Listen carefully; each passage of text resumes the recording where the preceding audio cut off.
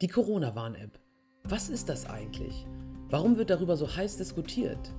Wir erklären euch in diesem kurzen Film, was ihr wissen müsst, um eine fundierte Entscheidung zu fällen. Wozu die App? Ein großes Problem bei der Verbreitung von Covid-19 ist der Ansteckungszeitraum. Menschen, die mit dem Coronavirus infiziert sind, weisen in der Regel erst nach einer Woche Symptome auf.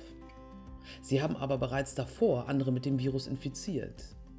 Und diese haben wieder andere angesteckt. Auf diese Weise kann eine erkrankte Person schon zwei Generationen infizieren, bevor sie überhaupt gemerkt hat, dass sie krank ist.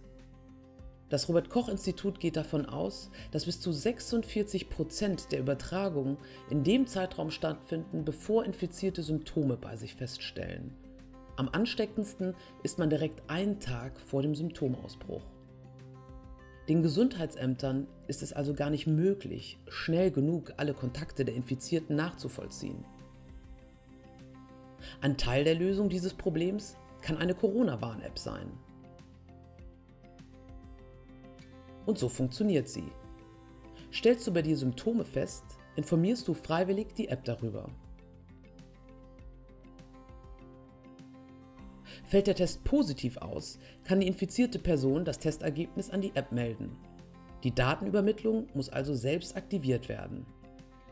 In diesem Fall vollzieht die App sofort nach, welche Handys im relevanten Zeitraum lang und dicht genug an deinem Handy dran waren, um eine Ansteckung möglich zu machen. Diese Ermittlung erfolgt, indem die Handys anonyme ID-Schlüssel, also Zahlenreihen, austauschen. Das heißt, niemand weiß, welche Person tatsächlich in deiner Nähe war.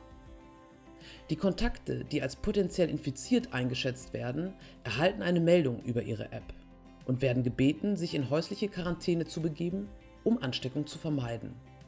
Auf diese Art können Ausgangsbeschränkungen lokal dort angeordnet werden, wo sie sinnvoll sind. Außerdem wird so die Verbreitung des Virus erheblich verlangsamt. Eine Voraussetzung dafür, dass die App hilft, die Corona-Epidemie zu stoppen, ist, dass mindestens 60 Prozent der Bevölkerung sie auch nutzen.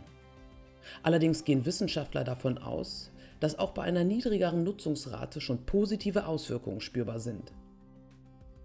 Wie sieht es aber mit dem Datenschutz aus?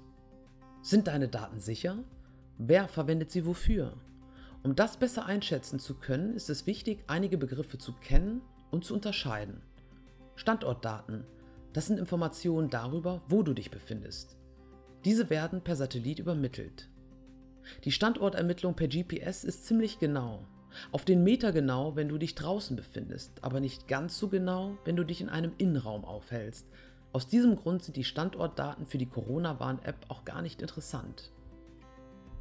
Bewegungsdaten, das sind ebenfalls Informationen darüber, wo du dich befindest. Sie werden von Handyfunkzellen ermittelt, jeweils mit einem Radius von 120 Grad.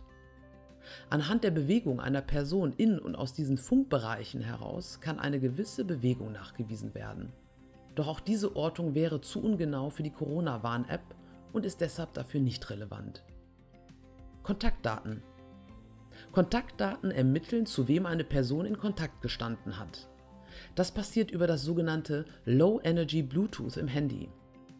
Diese schicken permanent Nachrichten von deinem Handy an die Geräte in deiner Umgebung, die dir nah genug kommen.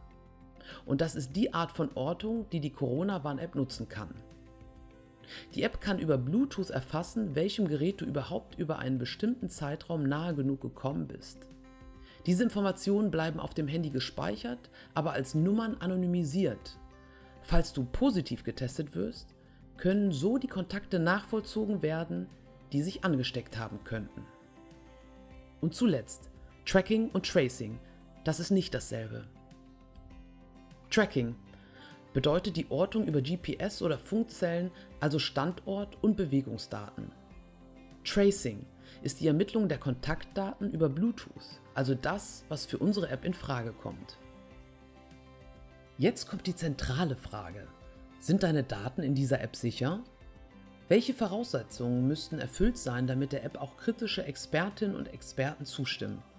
Bedingungen, die zum Beispiel der Chaos Computer Club und Reporter ohne Grenzen stellen, sind ein offener Quellcode.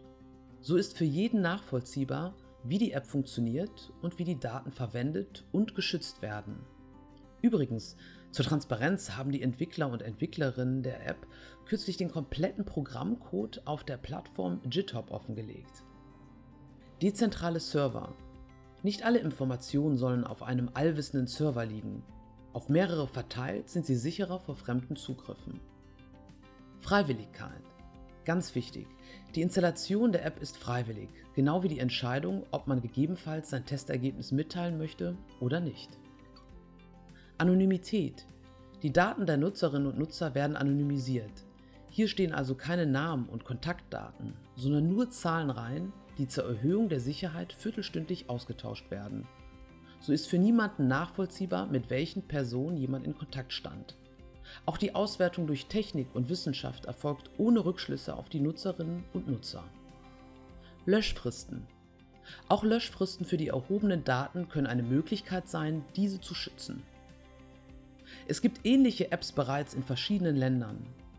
Warum übernehmen wir diese in Deutschland nicht einfach? Weil wir Datenschutz wichtig finden. Und wenn du das soweit verstanden hast, kannst du schon bald bei der deutschen App selbst überprüfen, ob sie dir sicher genug ist und wenn ja, auf dem Handy installieren und dabei mithelfen, die Corona-Infektionsketten zu unterbrechen.